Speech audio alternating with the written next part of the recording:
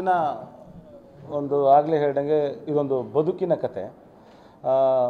ಪ್ರತಿದಿನವೂ ಹಿಂದೆಗಳು ಇವತ್ತಿಗೆ ಕೌಂಟ್ ಆಗ್ತವೆ, ಇವತ್ತುಗಳು ನಾಳೆಗಳು ಕೌಂಟ್ ಆಗ್ತವೆ. ಬದುಕು ಮತ್ತು ಮನುಷ್ಯನ ಮೌಲ್ಯಗಳು ಮತ್ತು ಆ ಸಾಂಸಾರಿಕ ಜೀವನ ನಾವೆಲ್ಲರೂ ಒಂದು ಒಂದು ಒಂದು ಒಂದು ಕಾಲದಲ್ಲಿ ಗ್ರಾಮೀಣ ಪ್ರದೇಶದಿಂದ ಬಂದವರೆ.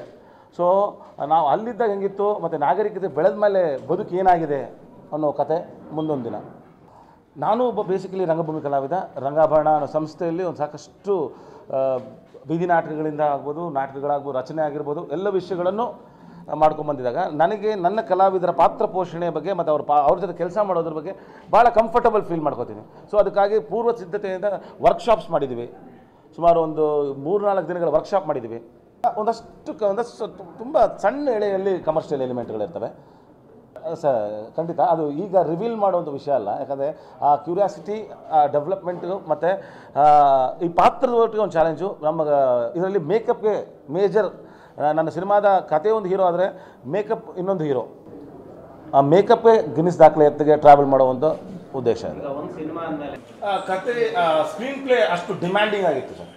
ಕಥೆಯ ಎ, ಬಿ ಅಥವಾ ಸಿ ಅಂತ ನಾವೇನು ಡಿಸೈಡ್ ಮಾಡ್ಕೋತೀವಿ ಆ್ಯಕ್ಷನ್ ಬ್ರೇಕ್ ಮತ್ತು ಕ್ಲೈಮ್ಯಾಕ್ಸ್ ಮಧ್ಯೆ, ಆ ಕತೆ ಪೋಲಿಕೆಯಲ್ಲಿ ಆ ಪಾತ್ರದ ವಿಶೇಷತೆ, ಆ ಮೇಕಪ್ ಎಷ್ಟು ಸ್ಟ್ರೆಸ್ಸು ಮತ್ತು ಫೋಕಸ್ ಇರೋದು. ಆ ಗಿನ್ನೆಸ್ನಲ್ಲಿ ಏನು ಫೋಕಸ್ ಮಾಡಿದ್ದೀವಿ? It's about the makeup cinema first Naveen Shakti story ಹೇಳಿದಾಗ, ನನಗೇನಂತೂ ಇದರಲ್ಲಿ ಏನೋ ಒಂದು ಹೊಸತನ ಇದೆ.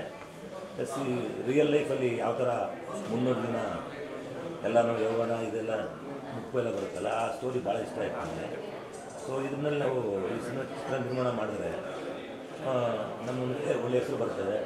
ಒಂದು ಜನಕ್ಕೆ ಒಂದು ಒಳ್ಳೆಯ ಮೆಸೇಜ್ ಕೊಟ್ಟಂಗಿರುತ್ತೆ ಅಂತ ನಾನು ಇದೇ ಭಾಳ ಇಷ್ಟ ನನಗೆ. ನನ್ನ ಕಮರ್ಷಿಯಲ್ ಸಿನಿಮಾ ನನಗೆ ಅಷ್ಟೊಂದು ಇಷ್ಟ ಇಲ್ಲ.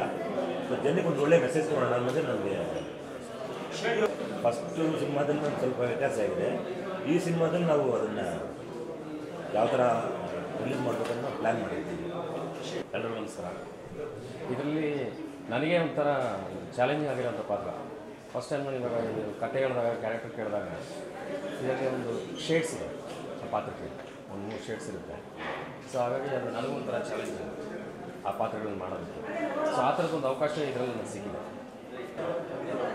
ಹಾಂ ಆ ಒಂದು ಏಜ್ಗೆ ತಕ್ಕಂಥ ಒಂದು ಪಾತ್ರ. ಏಜ್ ಆಗ್ತಾ ಆಗ್ತಾ ಆಗ್ತಾ ಯಾವ ಥರ ಏನೇನು ಬದಲಾವಣೆಗಳಾಗ್ತಾವೋ ಆ ಥರ ಒಂದು ಪಾತ್ರ. ಯಂಗ್ ಏಜ್ ಆಗಿರ್ಬೋದು ಮಿಡ್ಲ್ ಏಜ್ ಆಗಿರ್ಬೋದು ಓಲ್ಡ್ ಏಜ್ ಆಗಿರ್ಬೋದು. ಅದಕ್ಕೆ ತಕ್ಕಂಥ. ಶೇ ಬದಲಾವಣೆ ಆಗ್ತಾ ಹೋಗ್ತದೆ ಇಲ್ಲ ನನಗೆ ಆ ಥರದ ಇನ್ಸ್ಪಿರೇಷನ್ ಅಂತ ಏನಿಲ್ಲ.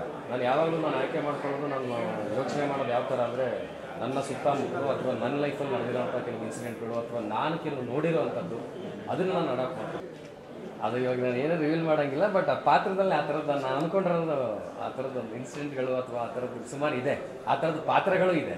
ನಾನು ನೋಡಿರೋವಂಥದ್ದು ಸೊ ಪಾತ್ರ ಮಾಡಿದ್ಮೇಲೆ ಖಂಡಿತ ನಿಮಗೂ ಅನಿಸುತ್ತೆ, ಓಕೆ, ಈ ಥರದ್ದು ಇರ್ತಾರೆ ಈ ಥರದ್ದು ನಮ್ಮ ಕೆಲವೊಂದು ಇನ್ಸಿಡೆಂಟ್ಗಳು ನೋಡಿದಾಗ ನಮ್ಮ ಲೈಫಲ್ಲೂ ಈ ಥರದ್ದು ಆಗಿದೆ ಅಂತ ಅನ್ಸೋದಂತೂ ಖಂಡಿತ. ಸ್ಪೆಷಲ್ ಆಗಿದೆ ಅಂತಂದರೆ ಒಂದು ಆಲ್ಮೋಸ್ಟ್ ಕೆಲವು ಕಡೆ ನೆಗೆಟಿವ್ ಕ್ಯಾರೆಕ್ಟರ್ಸ್ ಮಾಡಿದ್ದೀನಿ, ಅದಾದಮೇಲೆ ಕೆಲವು ಕಾಮಿಡಿ ಮಾಡಿದ್ದೀನಿ. ಬಟ್ ಇದರಲ್ಲಿ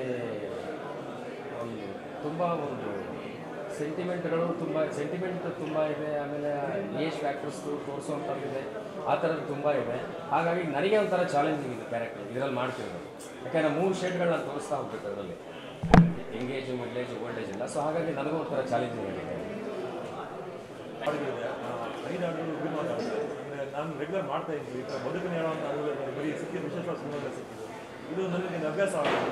ಆ, ಇಲ್ಲೇನಪ್ಪ ಅಂತಂದರೆ ಬದುಕನ್ನು ತುಂಬ ಚೆನ್ನಾಗಿ ಬಿಟ್ಟಿದ್ದಾರೆ. ಅಂದರೆ ರೋಡ್ ಒಂದು ಜೀವನ. ಇದೆ ಒಂದು ಮನೆ ಒಂದು ಜೀವ ಇದೆ ಪ್ರತಿಯೊಂದು ವಸ್ತುಗಳು ಜೀವ ಇದೆ ಅದು ಅದು ಹೇಗೆಲ್ಲ ಬದುಕು ನೋಡುತ್ತೆ ನಮ್ಮನ್ನು. ಬರೀ ನಾವು ಎಲ್ಲ ಯೂಸ್ ಮಾಡ್ತಾ ಹೋಗ್ತೀವಿ. ಆದರೆ ಆ ವಸ್ತುಗಳು ನಮ್ಮನ್ನು ಹೇಗೆ ಮಾಡ್ತಾ ಹೋಗ್ತಾರೆ ಅಂತ ಹೇಳ್ತಾರೆ. ಹೇಳ್ಕೊಟ್ಟಿದ್ದೀನಿ ಹಾಡುಗಳು ಚೆನ್ನಾಗಿರುತ್ತೆ ಸರ್. ಎರಡೆರಡು ನಾಗರ ಸರ್ ಬರ್ತಿದ್ದಾರೆ ಇನ್ನು ಎರಡೆರಡು ಕಲ್ಯಾಣ್ ಸರ್ ಬರ್ತಿದ್ದಾರೆ ಆ, ಮೌಲ್ಯಯುತವಾಗಿದೆ ಒಂದು ಹಾಡು ಯೋಗೇಶ್ ಭಟ್ ಸರ್ ಬರೀತಿದ್ದಾರೆ. ಇನ್ನು ರೆಕಾರ್ಡಿಂಗ್ ಬ್ಯಾಲೆನ್ಸ್ ಇದೆ ಹಾಡುಗಳು ಮ- ಮೌಲ್ಯವಾಗಿದೆ ಸರ್. ಆ, ಖಂಡಿತವಾಗ್ಲೂ ಸರ್. ಸಿನಿಮಾದಲ್ಲಿ ಹಾಡುಗಳು ಮತ್ತು ಇನ್ನೊಂದು ಸಂಗೀತ ಎರಡೂ ಕೂಡ ಮುಖ್ಯನೇ.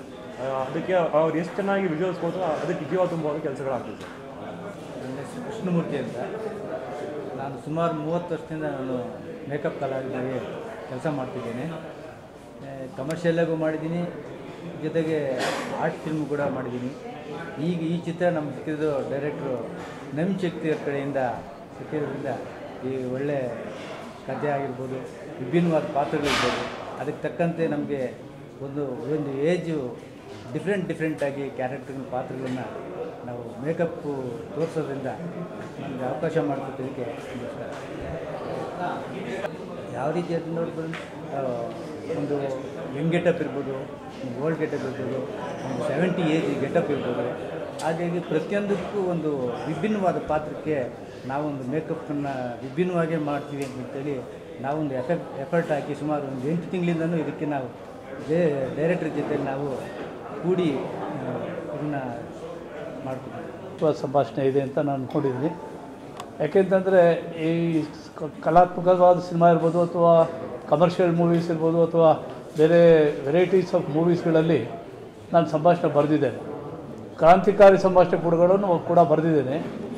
ಆದರೆ ಕೆಲವು ಟೈಮ್ ಅಬ್ಬರದ ಸಂಭಾಷಣೆಗಳು, ಆಮೇಲೆ ತುಂಬ ತುಂಬ ಎಮೋಷನಲ್ ಡೈಲಾಗ್ಸ್ ಎಲ್ಲ ಬರೆಯುವಂಥ ಅವಕಾಶಗಳು ಕಮರ್ಷಿಯಲ್ ಮೂವೀಸಲ್ಲಿ ಸಾಕಷ್ಟು ಸಿಗ್ತದೆ. ರಾಜಕೀಯವಾಗಿರ್ಬೋದು, ಇನ್ನೊಂದಿರ್ಬೋದು, ಸಾಮಾಜಿಕವಾಗಿರ್ಬೋದು, ಎಲ್ಲ ಇರ್ಬೋದು. ಆದರೆ ಇಲ್ಲಿ ಇಲ್ಲಿ ಓಡ್ತಕ್ಕಂಥ ಈ ಕಥೆ ಒಳಗಡೆ ಸಂಪೂರ್ಣವಾಗಿ ಎಲ್ಲ ಸಾಂಸಾರಿಕವಾದ ಚಿತ್ರಗಳನ್ನು ನಾವು ಮಾಡ್ತಾ ಹೋಗ್ತೀವಿ. ಅದರಲ್ಲಿ ಒಂದೊಂದು ಕ್ಯಾರೆಕ್ಟ್ರಿಗೂ ಕೂಡ ಬೇರೆ ಬೇರೆ ಆಯಾಮಗಳನ್ನು ಕೊಟ್ಟಾಗ ಬೇರೆ ಬೇರೆ ರೀತಿಯ ಸಂಭಾಷಣೆಗಳು ಬರೆಯುವಂಥ ಅವಕಾಶ ಇದೆ. ಹಾಗಾಗಿ ನನಗೊಂಥರ ಒಂದು ರೀತಿಯ ಹೊಸತನ ಕಾಡಿಸ್ತು ಈ ಬರೆಯೋ ಬರವಣಿಗೆನಲ್ಲಿ ಬೇರೆ ಅನುಭವಗಳಿಗಿಂತ ಈ ಸಿನಿಮಾದ ಅನುಭವ ಬಹಳ ವಿಶೇಷವಾಗಿ ಕಾಣಿಸ್ತು ಸೀನ್ಗಳಾಗಿರ್ಬೋದು ಅಥವಾ ಕ್ಯಾರೆಕ್ಟರೈಸೇಷನ್ ಮಾಡಿರ್ತಕ್ಕಂಥ ರೀತಿ ಇರ್ಬೋದು. ಆಮೇಲೆ ಆ ಗೆಟಪ್ಗಳಲ್ಲಿ ಬದಲಾವಣೆ ಮಾಡ್ತಕ್ಕಂಥ, ಆ, ಸಂಭಾಷಣೆಗಳು. ಈಗ ಈ ಎಂಗೇಜಲ್ಲಿ ಮಾಡ್ತಕ್ಕಂಥ ಸಂಭಾಷಣೆ ಏನಿದೆಯೋ, ಅದೇ ಕ್ಯಾರೆಕ್ಟರ್ ಇನ್ನೊಂದು ಶೇಡಲ್ಲಿ ಬಂದಾಗ ಅದಕ್ಕೆ ಬರೀಬೇಕಾದ ಸಂಭಾಷಣೆಗಳು. ಇವು ಈ ಸಂಭಾಷಣೆಯಲ್ಲಿ ತುಂಬ ವೈಶಿಷ್ಟ್ಯತೆ ಇದೆ. ಆಮೇಲೆ ನೈಜವಾಗಿದೆ ಸಂಭಾಷಣೆ. ಯಾವುದೇ ಆಡಂಬರ ಇಲ್ಲ, ಅಬ್ಬರ ಇಲ್ಲ, ಇನ್ನೊಂದಿಲ್ಲ, ತೋರಿಕೆ ಇಲ್ಲ ಸರ್.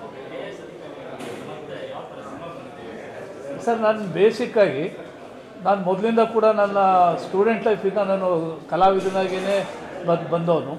ಮೊದಲಿಂದ ನಾನು ದೂರದರ್ಶನ ಮತ್ತು ಈ ಸಿನಿಮಾಗಳು ಮೊದಲು ಟಿ ವಿ, ಈ ಇದು ಏನು ಡಿಜಿಟಲ್ ಇವೆಲ್ಲ ಬರೋದಕ್ಕಿಂತ ಮುಂಚೆನೇ ನಾನು ದೂರದರ್ಶನ ಮತ್ತು ಆಕಾಶವಾಣಿಯಲ್ಲಿ ಕೆಲವು ಪ್ರಾಯೋಗಿಕವಾದ ಕೆಲಸಗಳನ್ನು ಮಾಡ್ತಿದ್ದೆ.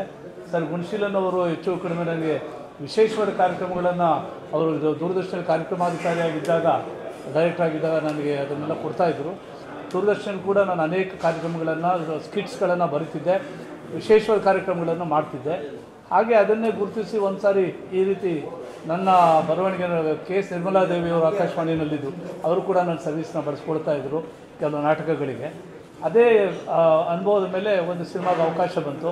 ರಾಮಕೃಷ್ಣ ಅವರು ಇಲ್ಲೇ ಇದ್ದಾರೆ ದೇವರು ಅವರು. ಸಾಮಾನ್ಯ ನಾವೆಲ್ಲ ಒಟ್ಟಿಗೆ ಇದ್ದಂಥವ್ರು ಆಗಿನ ಕಾಲದಿಂದ ಆ ಅವಕಾಶ ಬಂದಾಗ ಮೊಟ್ಟ ಮೊದಲಾಗಿ Adhipathi next gold medal lock of death emergency Aditya ಇವೆಲ್ಲ ಆ, ಗೋಲಿಬಾರ್ ಅದಕ್ಕೂ ಕೂಡ ನಾನೇ ಸಂಭಾಷಣೆ ವಸಂತ ಕುಣಿಗಲ್ ಹೆಸರಿನಲ್ಲಿ ನಾನೇ ಬರೆದಿದ್ದದನ್ನು.